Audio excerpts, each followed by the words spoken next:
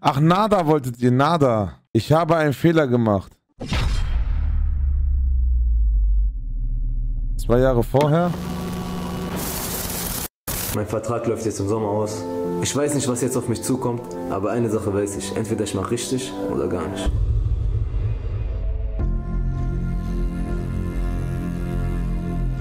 Und ich habe richtig gemacht.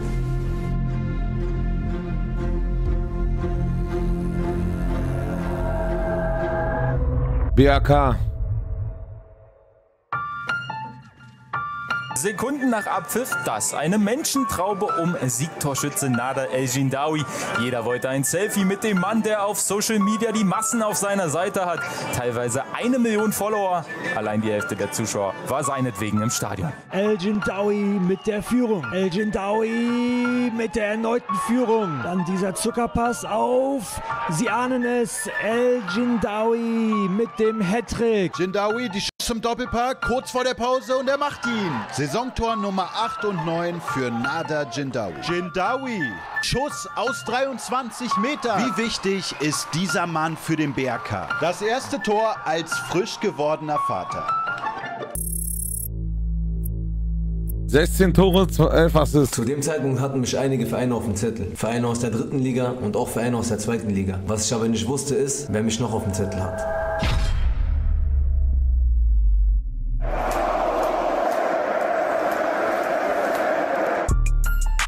Ich habe bei Hertha BSC unterschrieben. Das war immer mein Kindheitstraum. In dem Moment ist mein Traum in Erfüllung gegangen und ich war der glücklichste Mensch auf der Welt.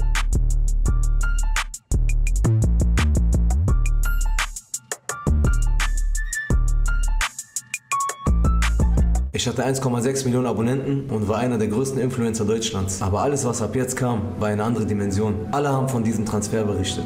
Der Social Media Star spielt ab nächster Saison für Hertha Berlin. Hertha holt YouTube. Ein Influencer wechselt zu Hertha BSC. Weil er hätte doch safe in die dritte Liga gehen können, Bruder. Wechselhammer. Nada El Jindawi entscheidet sich gegen die dritte Liga und geht zu Hertha BSC. Dass er jetzt bei Hertha ist, ist schon brutal. Unglaublicher Wechsel.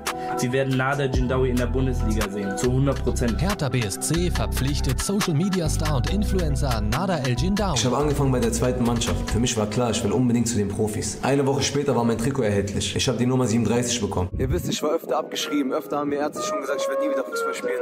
Aber jetzt stehe ich hier mit einer realistischen Chance. Okay, die Chance ist klein, aber sie ist da. Ich habe einen Traum und mein Traum ist es, hier drin zu spielen, Leute. Und das wisst ihr. Danke für eure Unterstützung und danke für eure Power. Ihr wisst Bescheid. Das krasse war, bei Trikot Release sind die Server abgestürzt. Die Leute kamen nicht mehr ans Trikot ran, weil die Nachfrage so hoch war. Ich hätte niemals gedacht, dass es so ein Ausmaß nimmt. Könnt ihr sehen, was da steht? Seite lahmgelegt. Die Jendawis haben die Seite lahmgelegt. Dann kam mein erstes Testspiel. Das Stadion war voll. Ich wurde kurz vor Schluss ausgewechselt und als ich mich auf die Bank gesetzt Tschüss, Digga. habe, sind die Zuschauer auf den Platz gestürmt.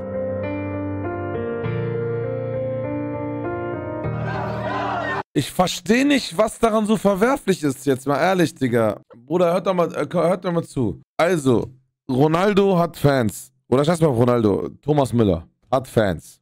Wenn du Thomas Müller draußen siehst, du willst ein Foto mit ihm haben. Oder es gibt Leute, die machen ein Foto mit ihm. Nadir Jendawi hat auch Fans. Wenn er, er hat auch Fans. Wo ist jetzt der Unterschied? Nur weil er Fans noch hat von YouTube, dass man das so kate kategorisiert, Digga. Weißt du, was ich meine? Und warum hat ein Nadir Jendawi mehr Druck oder muss mehr äh, zeigen als einer, der vom Fußball groß kommt? Er hat doch sein Leben lang schon Fußball-Content gemacht, Digga. Also, er spielt länger Fußball als ich rappe, Digga.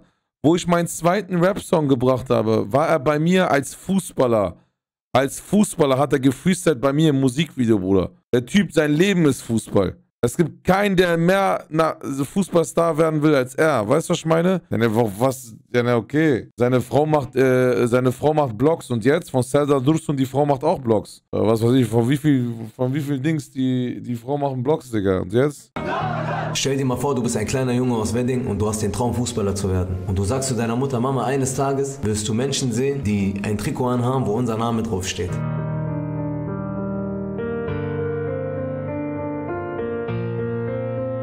Problem ist halt nur, dass äh, bei Hertha liegt das Problem, weil Hertha liegt gerade in der Kritik.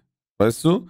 Nader Jendawi hat Angriffsfläche, weil er in eine Mannschaft gegangen ist, die sowieso hardcore in der Kritik ist und jeder gerade Dings abgefuckt ist auf die Mannschaft oder die ganzen Fans, Digga. und nur jemanden suchen zu beleidigen. Weißt du, was ich meine? Die suchen nur gerade jemanden, einen Grund zu geben, äh, äh, warum die gerade so Dings.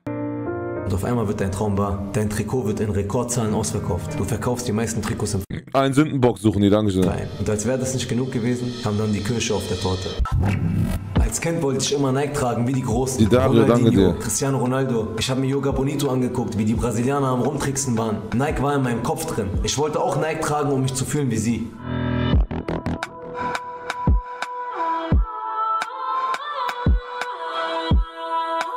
Ja, geiles Video, Alter. Mega geiles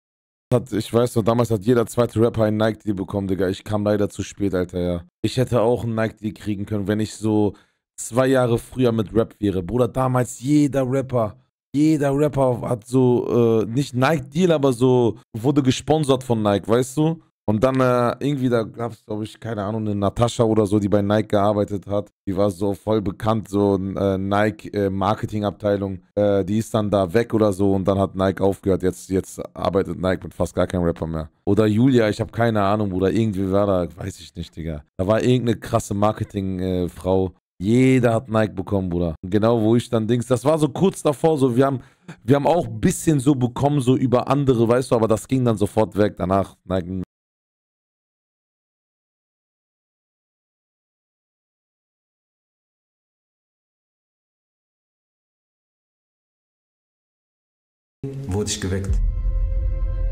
Aywa Jindawi, sorry, dass ich mich jetzt erst melde. Wir waren beim Arzt. Ich habe leider schlechte Neuigkeiten. Ich habe einen Tritt gegen die Wade bekommen. Ja, ich konnte die letzten Tage nicht richtig laufen. Ihr müsst euch vorstellen, ich war die letzten drei Jahre gesund, hatte nichts mit einer Verletzung zu tun und auf einmal verletze ich mich. Das hat mich an die Zeit erinnert, wo ich schon mal kurz davor war, Profi zu werden. Ich habe mich leider verletzt am zweiten Tag und kann jetzt nicht richtig laufen. Fühlt sich nicht gut an. Aber ich dachte mir, nada, denk nicht so. Zwei Wochen Pause, kurier das aus und dann geht's ganz normal weiter. Und so war es dann auch. Nach zwei Wochen stand ich wieder auf dem Platz und habe performt. Digga, und jetzt überleg mal, was muss gerade Arda Güler mit äh, durchmachen? Der Typ ist 17 Jahre alt und wechselt zu Real Madrid, Junge. Wer ist Hertha BSC am Er hat bei Fener. Hertha BSC ist sogar weit, weit, weit weg von Fenerbahce, Digga. Der hat sowieso schon bei Fener gespielt. Er wechselt da. Alle reden über ihn, Bruder. Er, ist, er hat bis jetzt in einem halben Jahr nicht einmal gespielt, Digga. Nada Jindawi zum ersten Mal im Kader nach seiner Verletzung. Er begann auf der Bank. Jindawi machte gleich Betrieb auf dem rechten Flügel. Dribbelstark, so wie man ihn kennt. Schnell, gut im Zweikampf und dann bringt er auch die Flanke ins Zentrum. Das erste Spiel nach der Verletzung war sehr gut. Dann kam das zweite Spiel und direkt nach ein paar Minuten, bam, Sprunggelenk. Ich hatte einen Pressschlag mit dem Gegenspieler oh und ich habe gemerkt, irgendwas ist kaputt gegangen. In dem Moment, wo ich da lag, habe ich an meine Familie gedacht, habe ich an alle Menschen gedacht, die an mich glauben. Und ich habe mir gesagt, egal wie, egal wie sehr es weh tut, wenn ich irgendwie weiterspielen kann, werde ich weiterspielen. Ich bin aufgestanden, ich habe die Schmerzen gespürt und ich habe es nochmal probiert. Ich habe weitergespielt, ich habe den Ball bekommen vorm Tor und habe den Ball reingemacht. Aber ich hatte so krasse Schmerzen, ich konnte nicht mal jubeln. Nach dem Tor wusste ich, dieses Spiel werde ich nicht beenden können. Ich muss raus. Die Außenbänder sind gerissen. Das ist natürlich wahnsinnig schmerzhaft, weil auch die Außenbänder mit der Kapsel verwachsen sind und die Kapsel sehr, sehr viel Schmerzrezeptoren hat. Das tut wahnsinnig weh. Ein Tape kann eventuell die Bänder ersetzen, aber das würde ich definitiv nicht empfehlen. Wenn man mir sagt, dass es unmöglich ist, weiterzuspielen, würde ich auch nicht weiterspielen. Aber wenn ich weiß, es gibt eine Möglichkeit, auf die Zähne zu beißen und weiterzuspielen, dann werde ich das auch tun. Weil ich habe einen Einjahresvertrag unterschrieben und ich muss jedes Spiel nutzen. Okay, ein Jahresvertrag. Ich wusste gar nicht, dass es sowas gibt. Okay, krass. Er hat ähm, weiter trainiert, weiter gespielt. Es war eine schwere Phase. Auch zu sehen, dass er Schmerztabletten nimmt, seinen Fuß tapen muss und trotz Schmerzen trainieren geht. Meine Leistung war katastrophal. Jeder Pass, jeder Schuss, jeder Schritt hat wehgetan. Ich habe mein Spiel einfach nicht aufs Feld bekommen.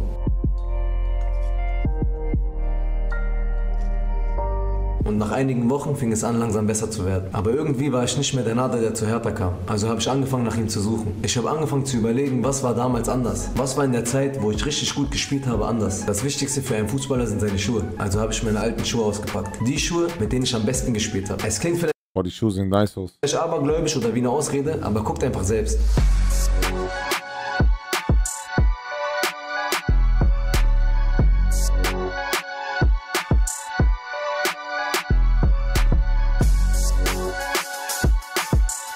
Ja, Bruder, ist sowieso Aberglaube, aber Bruder, das äh, Aberglaube hat ja, ist, kannst du ja auch unterschreien unter Selbstbewusstsein, weißt du, wenn du dich in den Schuhen einfach äh, besser fühlst, Digga. Der Vibe ist auch unnormal wichtig, weißt du? Bei mir zum Beispiel, es hat keinen Sinn. Es hat keinen Sinn, aber bei mir, ich schreibe besser Texte, wenn alles dunkel ist und nicht, wenn es zu hell ist. Oder ich rappe besser ins Mikrofon, wenn es dunkel ist. Es hat keinen Sinn einfach, aber ich fühle mich dann besser.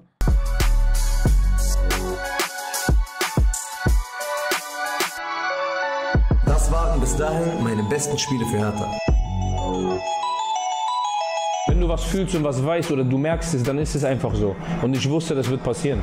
Es war ein ganz normaler Tag, ich war auf dem Weg zum Training und auf einmal krieg ich einen Anruf. Mein Trainer meint zu mir, beeil dich. Ich habe auf die Uhr geguckt, ich war gut in der Zeit und habe ihn gefragt, warum soll ich mich beeilen? Da meinte er, beeil dich, weil du trainierst gleich mit den Profis. Ey Leute, ich habe gerade erfahren, dass ich bei den Profis mit trainiere. Oh mein Gott. Meine Beine zittern. Ja, bei den Profis ist ein harter Call, weil die zweite, das sind ja auch schon Profis. Es wie in einem Traum. Hertha holt Instagram-Star zu den Profis. Dann war es soweit. Mein erstes Spiel bei den Profis. Im Flugzeug hat mir Prince Geschichten über seine Zeit bei AC Mailand und Barcelona erzählt. Er hat mit Spielern zusammengespielt wie Ronaldinho, Messi, Ibrahimovic. Der Flug ging zwei Stunden, aber für mich waren das wie zwei Minuten. Ich habe zugehört wie ein kleines Kind. Leute, Nada hat heute seinen ersten Einsatz. Jindawi. Ist das die erste? Immer wieder gesucht auf der Aber, äh, Freundschaftsspiel oder was? Seite.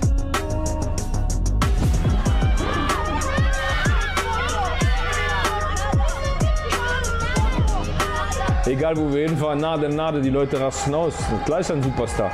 Und das ist ja das Problem, was er vielleicht haben kann oder was er hatte auch in der Vergangenheit, ne? dass die Leute ihn so als YouTuber sehen. Er hat bei Bechters gespielt, ja? Wann das denn, Digga? ihn so nicht ernst nehmen als Fußballer. Deswegen ist es so gut, dass Hä? Wann, wann war der bei Besiktas, Junge? Er so nah dran ist, diesen Schritt jetzt zu machen, um einfach auch diese, äh, diese Mäuler zu stopfen. Zu sagen, ey, weißt du was, ich bin YouTube-Star, Leute lieben mich, aber ich kann auch Fußball spielen. So, das ist immer so ein, so ein Scheideweg, ne? der ist nicht einfach. Alles klar, Nada, Glückwunsch äh, nachträglich nochmal zum, äh, zum, zum Profidebüt. Was sind jetzt für dich so die, die nächsten Steps, wenn es optimal läuft? Ja, ich bin noch nicht fertig.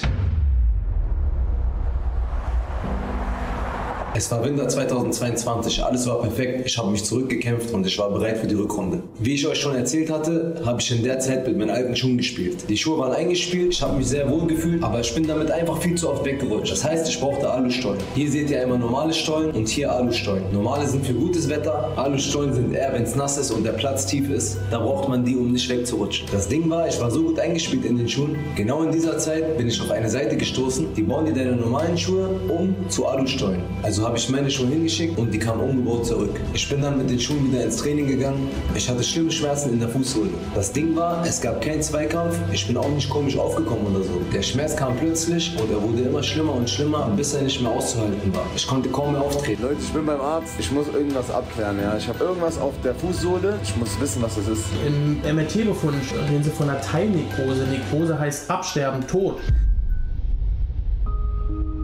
Der Arzt meinte, von einem normalen Training kann sowas nicht passieren. Es muss irgendwie ein Schlag oder ein Zweikampf gewesen sein, irgendwas Heftiges. Aber es war nichts. Ich konnte tagelang nicht schlafen. Ich meine, das konnte doch nicht einfach aus dem Nichts kommen. Ich habe nach dem Grund gesucht und mir ist nur eine Sache eingefallen. Ich habe meinen Schuh umbauen lassen. Ich musste wissen, was mit dem Schuh gemacht wurde. Ich habe in den Schuh reingeguckt und da waren Schraubenköpfe auf der Sohle. Das heißt, ich habe die ganze Zeit auf einer Schraube trainiert und habe damit meinen Fuß komplett demoliert. Da hat er natürlich einen groben Fehler gemacht. Mit der, mit der Schraube, die ihn da gegen das Sesambein gedrückt hat. In dem Moment dachte ich mir, Nada, du Vollidiot, wie konntest du nur sowas machen? Wie konntest du Digga, Walla, Alter. Das, damit hätte ich auch jetzt niemals gedacht, aber das ist schon sehr dumm, Bruder, als Profi sowas zu machen, Digga. nur so einen großen Fehler in so einer wichtigen Phase machen? Ich habe mir meinen ganzen Fuß auseinandergenommen.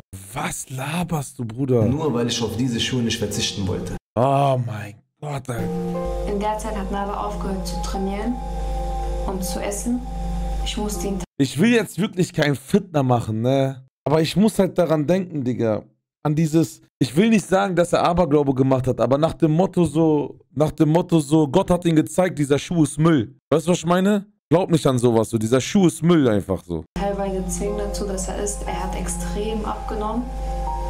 Er hat sich zurückgezogen in der Zeit. Er Aber ich will das jetzt nicht unterstellen, Bruder. Also ich will ihn jetzt nicht unterstellen, dass er Schirk macht oder sonstiges, bitte. Ne? Einfach nur so. Manchmal mache ich das, manchmal mache ich das selber bei mir. Wenn ich das und das mache oder und ich sehe, ah, okay, ich täusche mich dann, dann sage ich da, okay, Gott hat mir gezeigt, ist ein Fehler, Digga. mit niemandem sprechen. Anubis, dieser Und das mit Deswegen Anubis gibt es nicht, Leute. anzusehen war für mich auch so schlimm. Also ich wusste nicht, wie ich ihm helfen kann.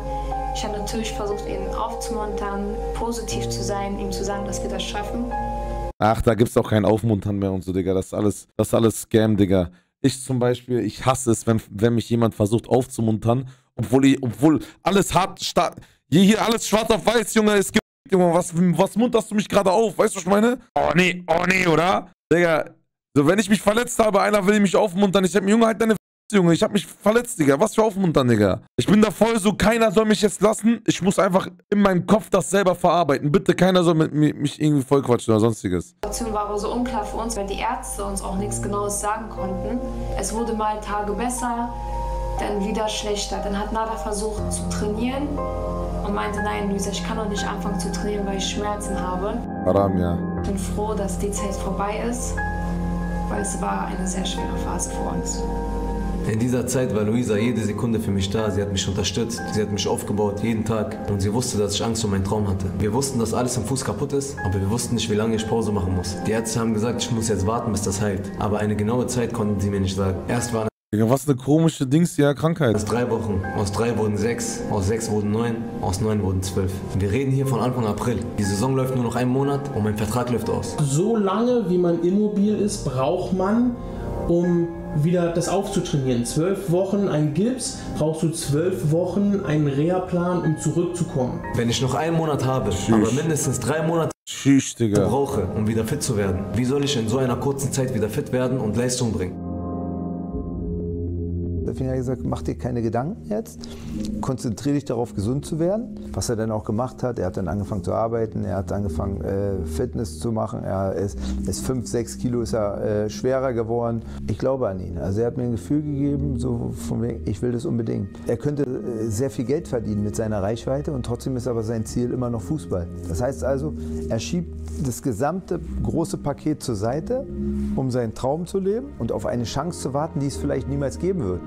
So, und dafür aber das gesamte Paket zur Seite zu schieben, fand ich großartig von ihm. Und das war für mich dann der Moment, wo ich gesagt habe, okay, ich helfe ihm, ich unterstütze ihn. Nicht viel mehr als den anderen jungen Spielern, weil jeder soll die gleiche Chance haben.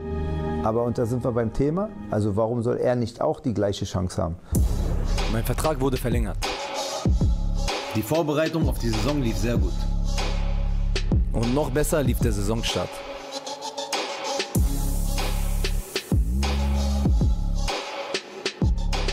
Kurz darauf hat mich der Cheftrainer der Profis in die erste Mannschaft geholt. Ich habe ein paar Testspiele mitgespielt und mein erstes Profitor geschossen. Das zweite Profitor folgte ein paar Wochen später per Freistoß. Seitdem trainiere ich fest bei der ersten Mannschaft. Und da wird nie der Junge bewertet, der jetzt äh, im Internet ein Star ist, sondern wird der Fußballer Nader bewertet. Und da macht das gut gerade. Ganz einfach, ob es in zwei, drei Jahren ist oder drei, oder auch wenn er erst sein erstes Spiel hier äh, im Stadion macht mit 29, ist völlig egal. Weil dann hat er immer noch fünf Jahre, um der Welt zu zeigen, dass er, dass er in der Bundesliga spielen kann. Ihr habt gesehen, Leute, die letzte Zeit war nicht einfach. Um ehrlich zu sein, war es nie in meinem Leben einfach. Aber ihr seht, ich stehe immer wieder auf und ich werde immer wieder aufstehen. Ich bin kein Superstar. Ich bin nicht einer dieser 1%, die es schon erreicht haben und von oben reden. Nein, ich bin einer von den 99%, die jeden Tag kämpfen. Ich bin einer von euch. Ich bin einer von denen, die auch Träume haben, ihre Träume jagen. Ich bin einer von denen, denen gesagt wird, du bist zu klein, zu schwach, zu alt, nicht gut genug. Und ich werde meinen Weg weitergehen und ich werde mir von niemandem was sagen lassen. Und genau das sollt ihr auch tun. Lasst uns diesen Weg gemeinsam gehen, lasst uns unsere Träume jagen und hoffentlich auch unsere Träume erfüllen. Danke für eure Unterstützung. Ich weiß jetzt nicht, was auf mich zukommt, aber eine Sache weiß ich. Entweder ich mache richtig oder gar nicht. Digga, ich find's auch respektlos, dass die schreiben Influencer Nader Jendawi, Digga. Das ist so Fitna, Digga. Ich hab ihn gesehen, der war am Dingskader, ne? Der war am Hertha-Kader beim letzten Hertha-Spiel. Die nennen ihn nicht mal Fußballer so respektlos. Ja, Wallah, ich finde das auch sehr aib, Digga. Ich finde das sehr respektlos, Digga. Ich hoffe, die Reaction hat euch gefallen. Wenn euch die Reaction gefallen hat, dann abonniert einfach Mert Abi Live-Kanal. Das ist der Kanal, den du gerade guckst, denn die, denn die Statistiken sagen, dass über 73,2% meine Videos gucken, aber mich nicht abonnieren. Das stimmt eigentlich gar nicht. Ich habe das nur erfunden, weil jeder zweite YouTuber das sagt. Mich juckt es gar nicht, ob ihr mich abonniert, ihr gerade. Guckt einfach meine Videos, weil durch Abos kriege ich eh kein Geld. Ich kriege nur Video Geld durch Klicks. Deshalb guckt einfach meine Videos, abonniert mich nicht. Salam alaikum.